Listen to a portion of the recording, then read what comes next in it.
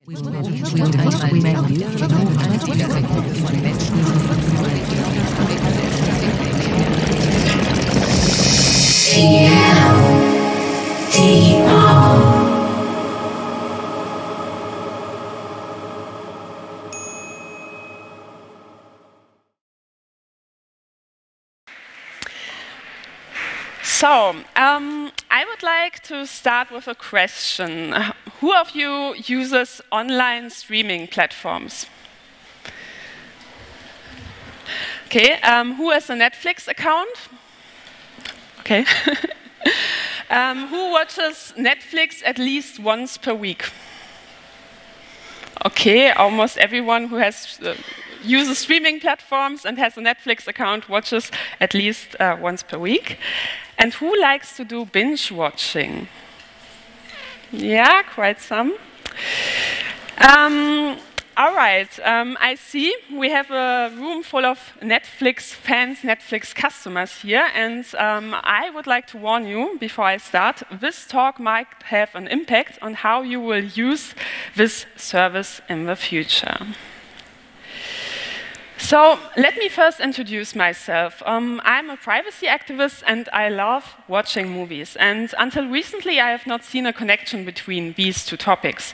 But um, when I started to do a little research project, um, during the last two years, I asked several companies to hand over all of the personal data they store about me as a customer. And I asked, for instance, um, Amazon, and they sent me a copy of my personal clickstream. This means they um, sent me an Excel document with 15,365 clicks with up to 50 additional information yeah, or data pieces um, for every click. And this made me very curious. And I started to ask other companies to um, also hand over a copy of my personal data. And one of these companies was Netflix. Most people do not know that they have an actual right to get a free copy of the personal data stored by companies they interact with. And in Germany, we have a legal basis for this um, since a long time under the Bundesdatenschutzgesetz. And thanks to the GDPR, now every European citizen has this right. So was, what does it mean? Um, Article 15 of the GDPR gives every user the right to do such a request, and it's very easy to do it. Um, you don't need a lawyer, um, you don't need to write a letter, you can do it via email. So I would really encourage to everyone here in this room um, just to try it. It's, it's really worth the effort, and basically it's not, not an effort at all. And companies are not only obliged to hand over um, like a copy of your personal data, but they are also obliged to explain the purpose why they store and process um, certain information about you. And they as well must tell you um, if and how this data is being used for automated decision making or, for example, profiling. And of course, they are obliged to tell you if they share any personal data with third parties. So um, how do we do such a request when we, for example, want to, uh, to have a copy of our Netflix data? This is very easy. Um, basically, you check the privacy policy of a company and um, look up the contact details of the data protection officer. And thanks to the GDPR, every company is obliged to name a contact of the um, yeah, privacy or data protection officer um, on their website. Yeah? In case of Netflix, you simply write an email to privacy at netflix.com. I repeat, privacy at netflix.com. Very easy. So basically, I asked to, um, I, I, write an email, just said, hi, I'm a customer, uh, you know, there's such a thing like Bundesdatenschutzgesetz, later it was GDPR, and um, yeah, I want a copy of um, all of the data you store about me. And um, usually, um, this is like the worst thing you can do when you really want to get your personal data, because when you just ask, give me everything you have, you usually don't get the things you really want. So better in general is to specify your request your request and do a little research before. So in my first request, I at least had some specific questions based on the privacy policy of Netflix I read before. So um, after you send you have sent this um, email, you should get an automated uh, notification that they received your message. And in my case, I must say they um, reacted very quickly. And um, Netflix uh, gave me an answer in less than a month. So it's really like, it's not a long time uh, um, letter friendship, uh, but it's, it's really something you, you get after a month. And usually they, ask, they will ask you first to um, verify your identity, for instance, by sending a copy of your ID. And um, if they do so, I would advise you um, to um, only to send the parts or only to make the parts of your ID visible that are relevant for Netflix. For example, your name, your address, and yeah, the rest is not of interest for them. And after you um, send this copy of your ID, you should get an answer after some weeks. And my first data set was uh, sent via an unencrypted email. So this is not the way you should do it as a company. But uh, later on, Netflix um, switched to another system. And right now, when you ask now, you will get uh, a link to a platform and a code, a verification code, and then you can download your data from there. So, um, what was in the documents I got? First of all, um, there was a list of all the videos I watched, obviously, and um, to be honest, I was shocked because the number was incredibly high. Um, but then I realized um, the list includes, of course, not only videos I watched fully, but also just, um, yeah, videos I watched for several seconds or just for a minute or just for 10 minutes and then decided this is a waste of time. And how does such a piece of information look like? For example, you watched uh, Stranger Things on the 1st of December at 8.15 and 30 seconds on, um, for example, an iPhone SE. Yeah, and maybe also from Germany and maybe also from which region. And um, of course, uh, based on this, I um, yeah, had a list of all devices that were ever connected with my Netflix account. Also, I got a copy of my search history, my ratings, and information about all the newsletters and in-app uh, notification I ever got from Netflix. Um, so how does this look like? Yeah, this is a copy of, of the answer I got. Um, here you can see, um, like, you not only get a list of all the newsletters you got, but also a list of all the newsletters you reacted to. Yeah, and these are the three newsletters that um, caught my attention. It was, um, yeah, um, about um, a documentary which was called uh, Planet Earth. It was about Stranger Things and uh, the Big Bang Theory. So obviously, I'm rather kind of type of, a nerd user, maybe. Mm.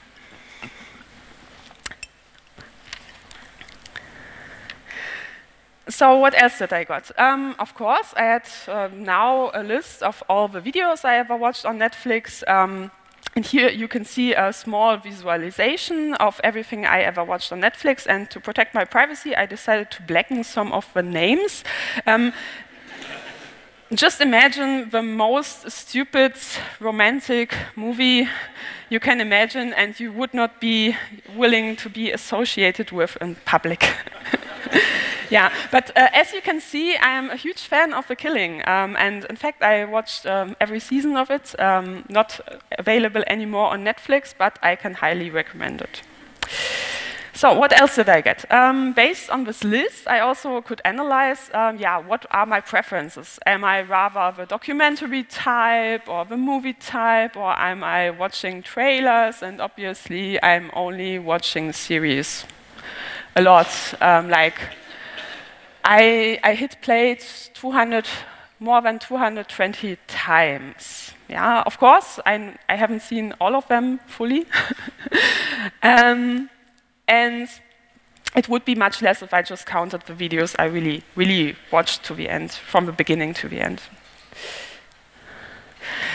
And based on this data, I could also analyze like in which weeks I was uh, hardcore Netflix addicted, and I could clearly see, for example, um, yeah, The Killing and Influenza. Yeah, um, of course, there are also very reasonable explanations for the other peaks, like almost every week. Um, And I could also uh, see um, when do I watch, so um, which hour of the day. Um, you can see uh, that I often watch in the evening, like most people probably do, but I also sometimes continue to watch until 3 o'clock in the night, sometimes even 5 o'clock. So, And um, there is a very simple explanation for that. Uh, it's binge watching. Yeah? Sometimes I start in the evening, just want to watch one video. Yeah, we all know how this ends. So um, this is the explanation for that. But you also see uh, what I would call peak lunch. Yeah, here, peak lunch. Um, I work, um, I, yeah, sometimes when I do home office um, in the afternoon, I do a little break, um, eat something, and sometimes, yeah, while eating, I watch a video. And um, yeah, during the day, sometimes when I travel, I also yeah watch Netflix when the train is so crowded that it's impossible to work or the internet connection in Deutsche Bahn is as usual. Yeah, and of course, I also got a list of all devices, devices and um, yeah, basically, um, mostly I used, um, or sometimes I used uh, a Mac, yeah, sometimes Safari, sometimes Firefox. Um, also, I had some sessions with an iPad mini, but um, I was honestly devastated that most videos I watched on Netflix were on my iPhone. Yeah, and uh, I had to buy new glasses last month, and maybe this is uh, an explanation um, for this.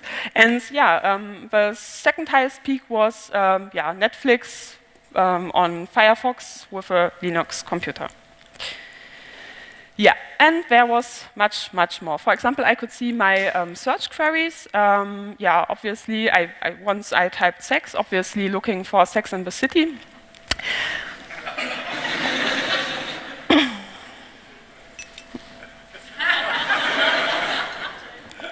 And um, I also got a list of um, all the IP addresses that were connected with my Netflix account. And interestingly, Netflix doesn't uh, does not only um, see like from or, or, look or collect the information from which uh, country I am accessing their service, but also from which region. So in my case, it was mostly Berlin, but I could also see when I was, um, for example, traveling because of work or visiting my parents, and um, yeah, on, on, which device um, which device I took with me.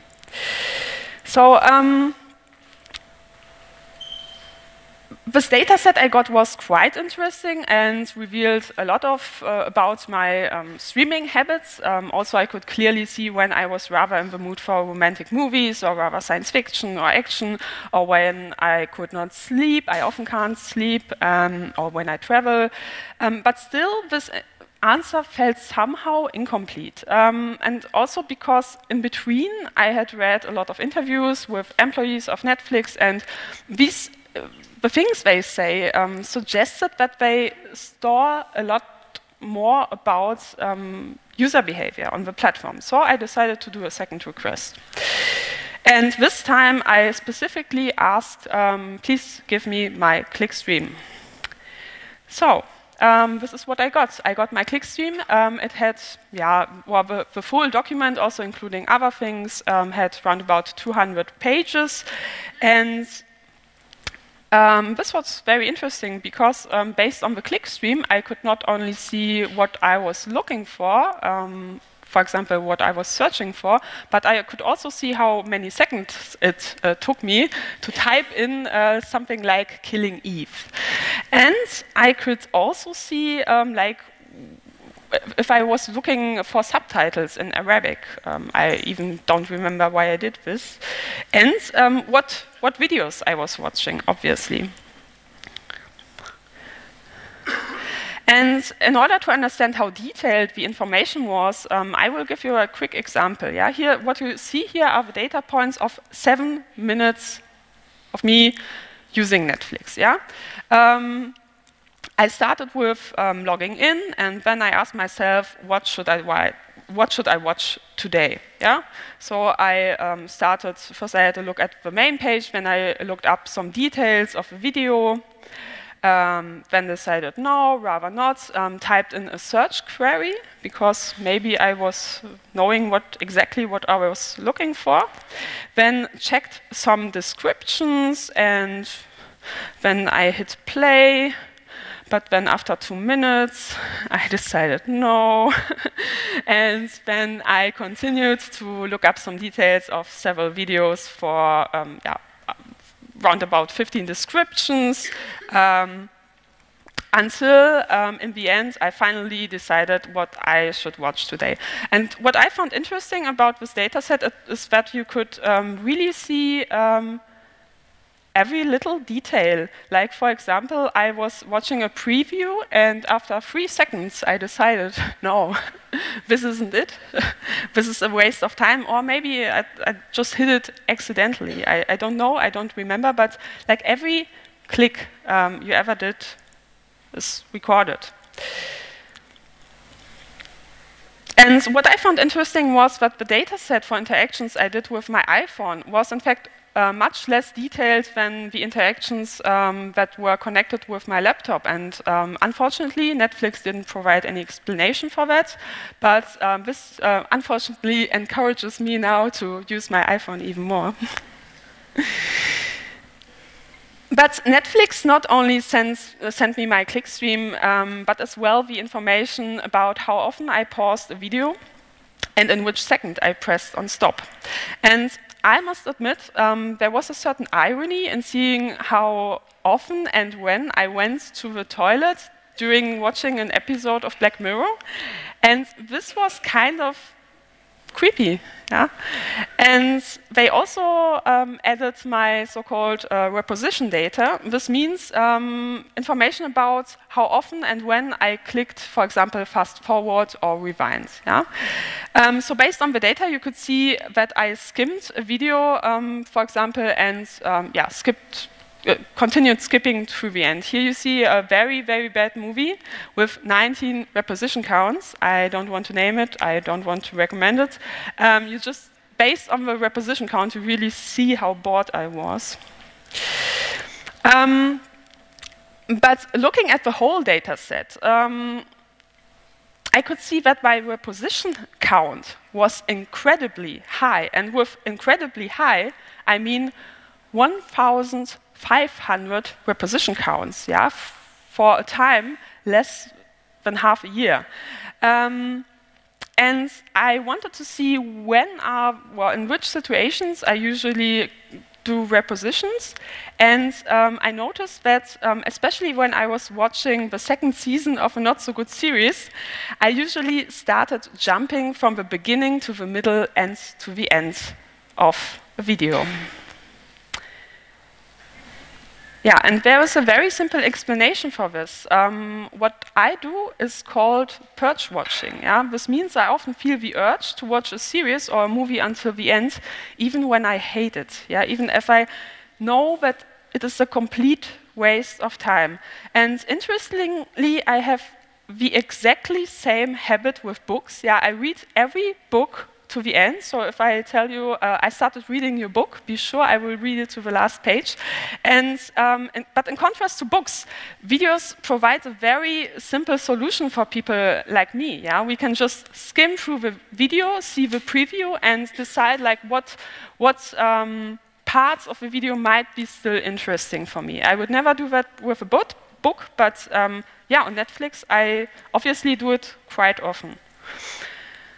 And sometimes I'm not only interested in how a movie ends, but sometimes I'm really interested in one single character in a series. And this means I just take a look at the preview and watch until I see in the preview that the special character I'm interested in appears. And based on this data set, I could, for example, see uh, what I was interested in um, watch when I watched the second season of 30, 13 Reasons Why. Um, it was the story of a girl who found out that her boyfriend might have raped someone. And this was really the point when I started feeling really uncomfortable about this data set.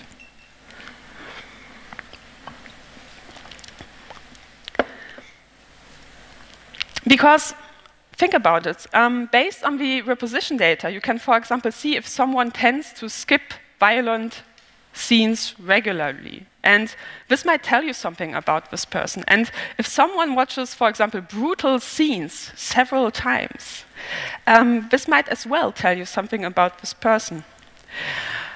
Or, for example, does a per person watch happy endings several times? Yeah, this might tell you something about how this person feels right now. And um, I can only, yeah, say when I, I, actually do it sometimes, yeah, but usually uh, only when I don't feel happy, yeah, or when I'm not in the best mood. And of course, based on this data, you can as well see who watched what kind of sex scenes.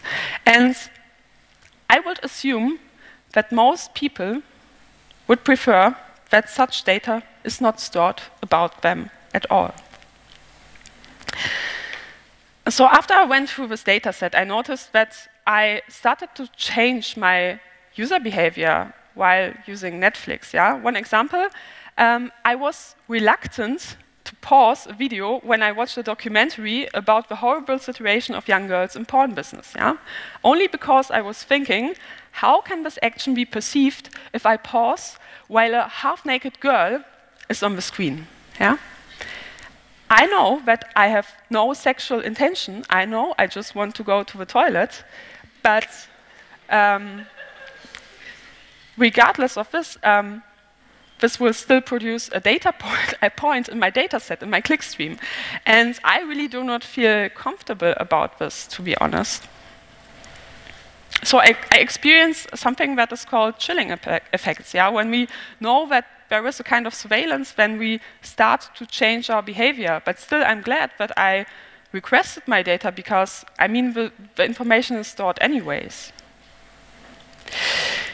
Yeah, and after these two requests, um, some months went by, and then Netflix published a new Black Mirror movie. Yeah, and Black Mirror, I made good experiences with data sets of Black Mirror. I thought, yeah, and so I decided immediately to uh, watch Bandersnatch on the first day. And the interesting thing about Bandersnatch is that it is not only it is not just a movie; it was interactive. Um, so, what does interactive mean? Um, the viewer plays kind of the main character, who is a software developer in the gaming industry, or tries to become a software developer in the gaming industry. And in the beginning of the movie, um, Bandersnatch offers you kind of very simple, basic choices. Yeah, for example, um, do you want to eat um, rather sugar puffs or frosties for breakfast? And later on, you can as well choose the music the character listens to. Yeah, and then the story develops, um, and quite disturbing choices start to appear. At one point, you are asked if you want to kill your dad because your character is paranoid or becoming paranoid and thinks that um, his dad is part of a big conspiracy against him. Yeah, and if you click on um, kill dead, um, you can later then choose if you want to bury the corpse in the garden or if you want to get rid of the corpse by um, cutting the body of your dad into pieces in the bathroom. Yeah.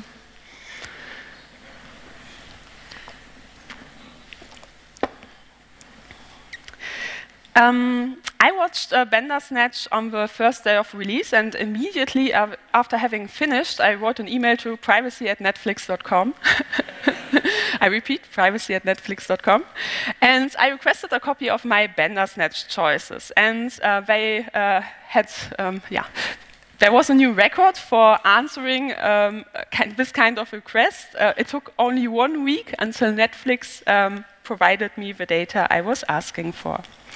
So um, first of all, they attached a list of all the choices available in Bandersnatch, and I found it very interesting because this shows that these kind of Article, Article 15 GDPR requests could also be an interesting way to reverse engineer um, interactive movies um, so that fans can see like what choices are available. But then, of course, I as well got a list of all the choices I made. And this was a bit disturbing because it is one thing to know what I watch or when I watch or what I click on. But interactive movies show how we behave when we play a certain character.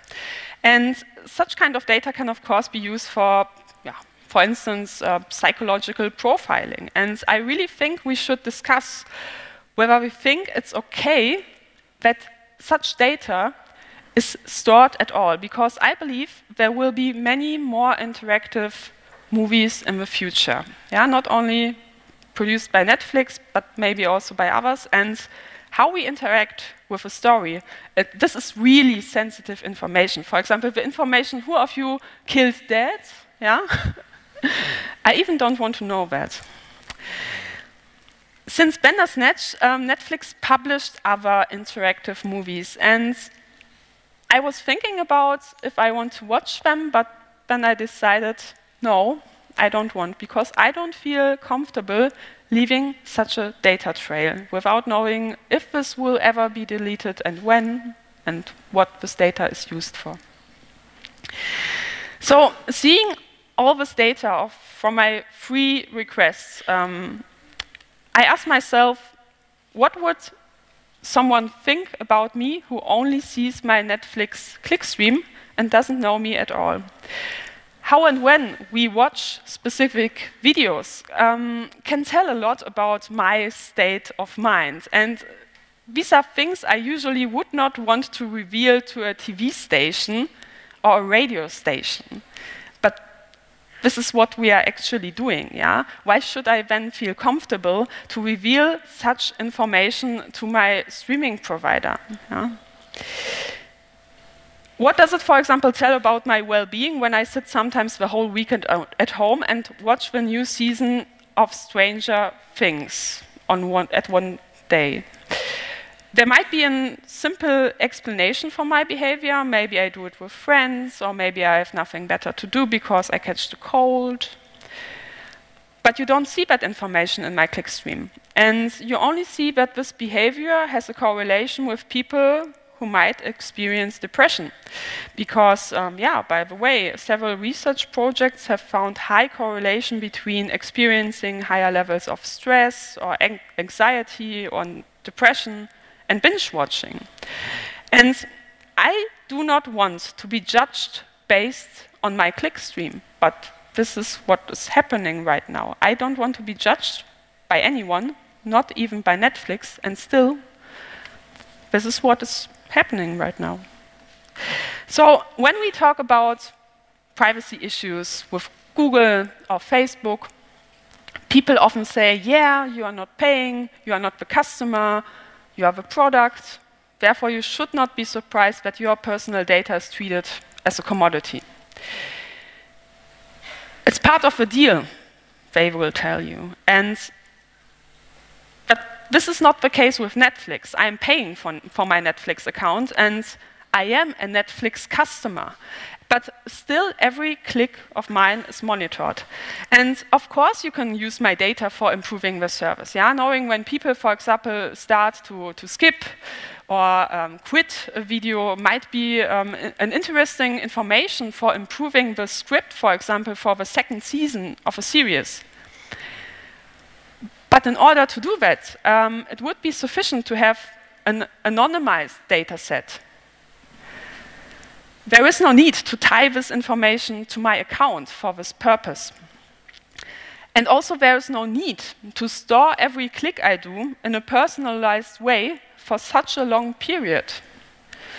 And yeah, by the way, there is no guarantee that this data is safe and will never be used against me. And every IT security expert knows that um, there is no thing such as uh, unhackable company, yeah? But unfortunately, Netflix behaves as if they would think differently about this. So what do we do with, with this um, information?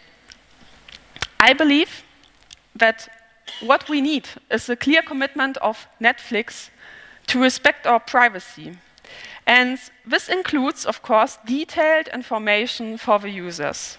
I honestly think it's not acceptable that Netflix knows every click I do on its platform and I have no clue at all like what kind of data is retained and especially for how long it is stored and if it's deleted ever. And we should not accept that companies often tell us that they store our personal data as long as they need to improve their services, because in many cases, this legally translates into, um, yeah, we do not delete anything at all. And what I want as a Netflix user are binding time limits for the storage and deletion of my data, and a commitment to anonymize sensitive data as early as possible. And of course, we need an easy way for users to delete any piece of data they do not want to have in the system at all. Um, honestly, all I want is to have a choice or something like a choice. And what would be wrong with letting the users decide if they really want this? Um, what would be wrong with a default setting that offers maximum privacy instead of maximum surveillance? And let's be clear, um, this is not only about Netflix, because it's rational to assume that all of the competitors, um, all companies in the streaming business, or at least almost all, have similar data sets about you. And what we as users should demand is nothing less than that privacy becomes the default setting in the whole streaming industry, because um, this is not only about us. And I really believe that streaming is the future. Um, and I'm very glad that there is no company that stored what kind of trash TV I watched when I was 14 years old. This would be kind of embarrassing for all of us, I believe. And I do not want that any company has such a data set of my children. Thank you.